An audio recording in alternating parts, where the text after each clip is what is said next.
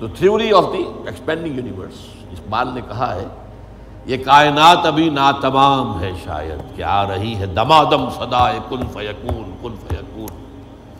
अभी तो जैसे कि कुरान मजीद में आया भी है। This big bang was the beginning of the material universe इससे पहला एक दौर है जिसे साइंस ना देख सकती है, ना जान सकती है। ना उस तक उसकी पहुँच। उससे पहले भी एक हरफ कुन आया था। जैसे एक हरफ कुन से बिग बैंग हुआ है। बिग बैंग किस चीज़ में हुआ है वो अभी मैं बता हमारा चैनल सब्सक्राइब करना और नोटिफिकेशन बेल ऑन करना मत भूलिएगा ताकि हमारा रबता बहाल रहे।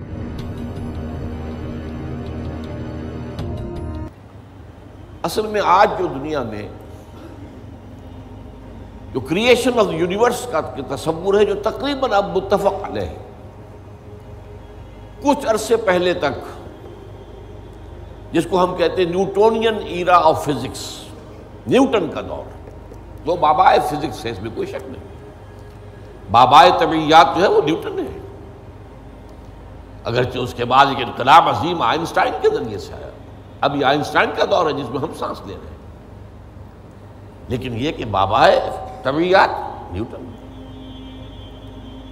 उस न्यूटोनियन फिजिक्स ने जो तस्वुरात पैदा किए थे, उसका जहन में ये नक्शा था कि ये कायनात हमेशा से है और हमेशा रहेगी। मादा हमेशा से है और हमेशा रहेगा। Matter is indestructible. मादा खत्म हो ही नहीं सकता। वगैरह वगैरह वगैरह वगैरह। बड़ी तफसील में नहीं जा सकती। आज हमें मालूम हो गया है और इस पर इजमा है तकरीबन अब फिजिक्स का, और काफ़ी अरसे से। This universe has a beginning और उसको नाम दिया गया बिग बैंग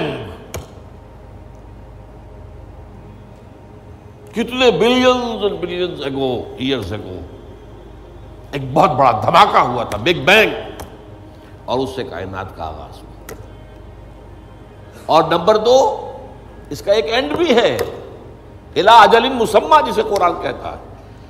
ये कायनात हमेशा के लिए नहीं है। इला अजलिन मुसम्मा। एक खास मुद्दत मुद्दत मुआयना तक ये रहेगी। उसके बाद खात्मा हो जाएगा इसका। ये हमेशा की नहीं तो बिग बैंग से जो एक नज़रिया शुरू हुआ कि शुरू में क्या था? जर्रात थे बहुत छोटे बहुत छोटे बहुत छोटे बहुत छोटे। फोटोन्स। उनमें हरारत इतनी थी ट्रिलियंस डिग्री ऑफ़ फारेनहाइट या सेंटीग्रेड जो चाहे कह लें। And they're running away from each other ये थी first stage of the creation of this material world फिर ये ज़रात जो हैं, ये मिलजुल गए, इससे गैलेक्सीज वजूद में आई गैलेक्सीज एक दूसरे से भाग रही हैं।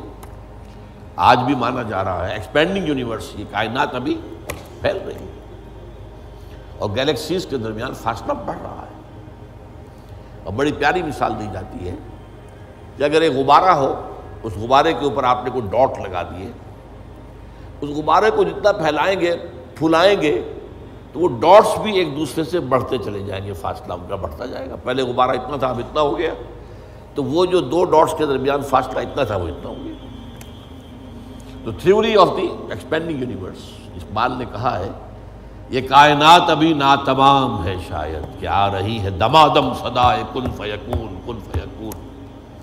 अभी तो जैसे कि कुरान मजीद में आया भी है, हम अपने खल्क में, हम वसत कर देते हैं जो जो जितना चाहते हैं। व नजीद फ़िलखल्क मानशा ये तखलीक जो है भी जारी है। बहरहाल उसके बाद वो दौर आया कि फिर ये गैलेक्सीज के अंदर ये कुर्रे बने और और स्टार्स बने और फिर वो कुर्रे ठंडे होने शुरू हुए। उन्हीं में से एक कुर्रा हमारा ये ज़मीन है। ये आग का कुर्रा था। आग का जैसे सूरज है। लेकिन ठंडा हुआ।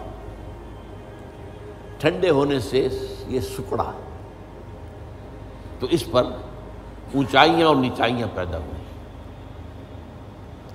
इसमें से जो बुखारात निकले, उन्होंने जाके एटमॉस्फियर की शक्ल इख्तियार की। उस एटमॉस्फियर के अंदर, फिर गैसेस के बाहमी इंटरेक्शन से पानी पैदा हुआ और हज़ार हा बरस तक पानी बरसता रहा, पानी बरसता रहा, पानी बरसता रहा, जिससे समंदर वजूद में आया। और वो जो ज़मीन ठंडी हुई तो ऊपर क्रस्ट ऑफ़ द अर्थ जो आया है, वो और पानी इसके इम्तजाज से इस कुरे अर्जी पर हयात का आगाज़ हुआ।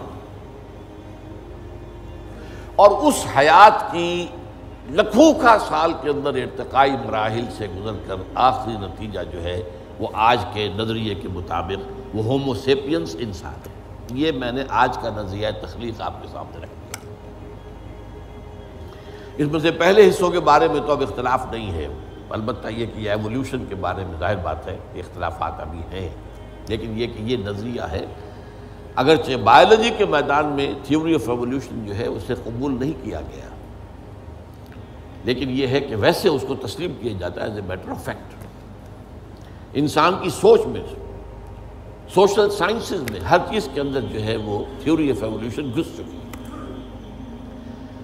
अब जो बात इसमें नहीं आई है, वो बात मैं आपको this big bang was the beginning of the material universe इससे पहला एक दौर है जिसे साइंस ना देख सकती है, ना जान सकती है। ना उस तक उसकी पहुँच उससे पहले भी एक हरफ कुन आया था। जैसे एक हरफ कुन से बिग बैंग हुआ है। बिग बैंग किस चीज़ में हुआ है? वो अभी मैं बताता हूँ। अल्लाह ताला के पहले अवलिन हरफ कुन से एक बहुत लतीफ नूर पैदा हुआ। ये लतीफ नूर क्यों कह रहा हूँ? इसमें हरारत नहीं थी, हरकत भी नहीं थी। लतीफ। इस स्टेज पर उस लतीफ नूर से इंसानी अरवा पैदा की गई और फरिश्ते पैदा किए ये प्री बिग बैंग मामला है। अरवाह इंसानिया। मटेरियल नहीं है। उनका ताल्लुक इस यूनिवर्स, मटेरियल यूनिवर्स से नहीं है। ये तो बिग बैंग से पहले की बात है। फरिश्ते। और अरवाह इंसान जसद नहीं था, सिर्फ़ रूहें थी, लेकिन हर एक की रूह थी। आदम से लेकर आखिरी इंसान जो आएगा दुनिया में, क्यामत से तब पहले तक, सबकी अरवाह मौजूद थी। और उनसे अहद लिया था अल्लाह ने। अलस्तो में रब को कालू बला। अब जो आदमी इस बात को नहीं मानता, वो कैसे समझेगा किससे अहद लिया था? जदीद दौर के एक मुफसर ने लिखा अपनी तफसीर में, ये अहद इंसान की तख्लीक से कबल आलम गैब में लिया गया। मैंने उनसे अर्ज़ किया कि, हजूर, ये तो जुमला आपका मोहमल है। जो शो पैदा ही नहीं हुई, उससे कैसे अहद ले लिया? अहद वाहिदा तो होता है, जो मौजूद है, और फिर उसमें भी ये अल्फाज आते हैं, मैं बाकायमी होशो हवास ये इकरार कर रहा हूँ। फुल कॉन्शियसनेस, सेल्फ कॉन्शियसनेस के साथ। आदमी एक अहद करता है, एक इकरार करता है, एक माहिदा करता है। तब मैंने जब उनसे अर्ज़ किया तो उन्होंने माना कि हाँ तुम्हारी बात ठीक है। ये अहद अजसाद इंसानिया की तखलीक से कबल अरवाह इंसानी से लिया गया। ये एक स्टेज थी जिसमें अरवाह पैदा की उस आलम अरवाह में जबकि अभी मटेरियल वर्ल्ड शुरू नहीं हुई, अभी वक्त का कोई तस्वुर नहीं यही वजह है कि आलम अरवाह में जो कुछ होता है, उसमें वक्त नहीं लगता। कुन फयकून कुन फयकून। आलम खल्क में आकर वक्त लगता है। आसमान और ज़मीन छह दिनों में पैदा किए वो दिन हमारे 24 घंटे वाले दिन तो नहीं है। इंसान के एक नुस्फे से लेकर एक बच्चे के मुकम्मल होने तक नौ महीने लगते हैं। टाइम लगता है। आलम अरवाह में मलाइका के लिए। क्या ख्याल है आपका? जबराइल को अरश मुल्ला से यहाँ आने में कोई वक्त लगता है? टाइम एलिमेंट है ही नहीं। अभी ये उस दौर की पैदावार है, जबकि अभी टाइम पैदा हुआ ही नहीं। Time and space time and space जो है, ये कॉन्सेप्ट है बिग बैंग के बाद का। हरकत भी है तो उसी के बाद जो वक्त का तस्वुर पैदा होगा। पासिंग टाइम लिहाजा ये अरवाह इंसानियाँ पैदा की गई, जबकि अभी मटीरियल यूनिवर्स की इब्तदा नहीं हुई थी और उनको एक कोल्ड स्टोरेज में रख दिया गया।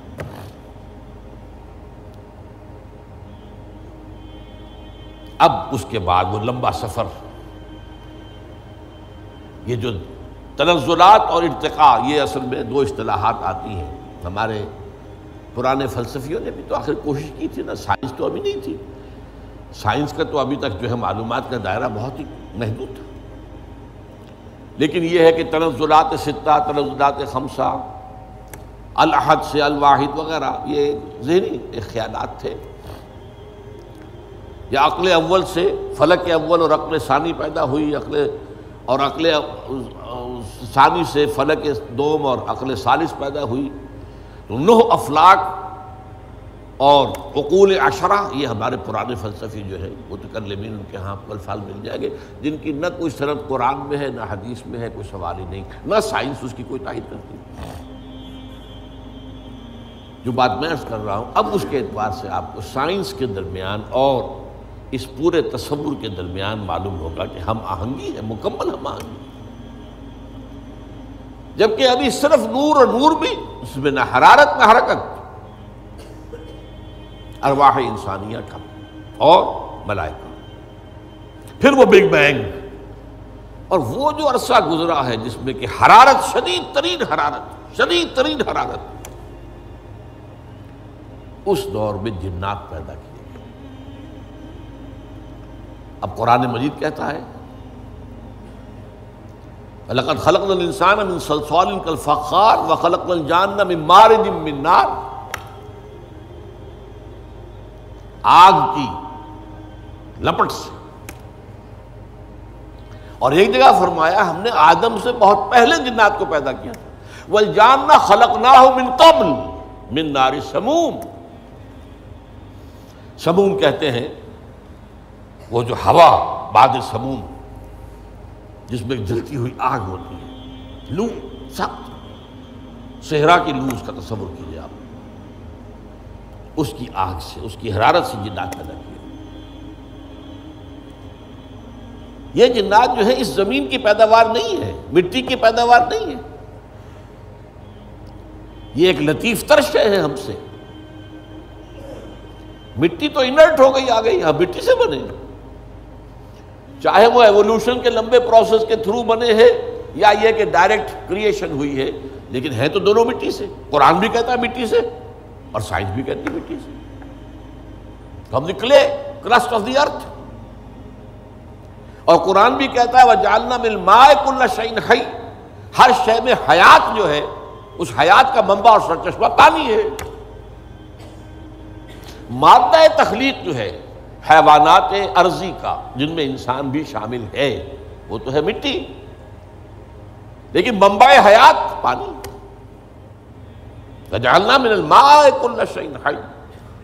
और यही साइंस कहती है कि समंदर के किनारे पर दलदली जगहों पर वहाँ क्या होता था कि अभी पानी पीछे हट गया है फिर पानी आ गया है फिर फट गया है ये तामुल चल रहा है और इसके नतीजे में वहाँ जो जो केमिकल कंपाउंड्स थे उसके बाद ऑर्गेनिक कंपाउंड्स बने उसके बाद उसी के अंदर जो है जो हयात का जरसूमा पैदा हुआ, एक सेल एमीबा, ये उनका कहना है। मैं उस वक्त उसकी न तस्दीक कर रहा हूँ, न तरदीद कर रहा हूँ। जो बता रहा हूँ आपको कि दोनों का एक ये जो है बात मुतफ़ है कि मिट्टी से और पानी से बने। इसमें कोई इख्तलाफ नहीं। अब ये सिलसिला जो चला है, अब वही कहानी जो है ये दोहराई जा रही है। वही एक सेल से रहमे मादर में बच्चा परवान चढ़ रहा जो हो सकता है नाइन मिलियंस ऑफ़ ईयर्स में हुआ हो, एक जरसूमे से लेकर इंसान तक का मामला। वो रहम मादर में नौ महीने में हो रहा। The same process single cell और उसके ये मराहल हैं। तो ज़िंदा तो है, नुतफा भी ज़िंदा, अलका भी ज़िंदा मुजगा भी ज़िंदा। माँ की तरफ़ से आने वाला बैजा भी ज़िंदा। मर्द के नुतफे और माँ के बैजे से इम्तदाज से वजूद में आने वाला जाइगोट नुतफतिन अमथान वो भी ज़िंदा। लेकिन जब 120 दिन हो जाते हैं तो अब युरसलबला का बाद अब वो फरिश्ता भेजा जाता है। वो रहम मादर में, वो रूह उसकी रूह, मेरी रूह जो वहाँ थी, वो लाकर मेरी वालिदा के रहम में वो जो मेरा हयूला वजूद में आया था, उसके अंदर फूकी गई है, तब मैं बना हूँ। मेरा वजूद इंसान की शक्ल इख्तियार किया। जदों काफिर इसी पिच हो गया, फिर तशबी मुसल्ला की करना, असा ज़ाहिर नू रब मन आए। बातन दा अल्लाह की करना असा जाहिर नू रब मन आए बातन दा अल्लाह की करना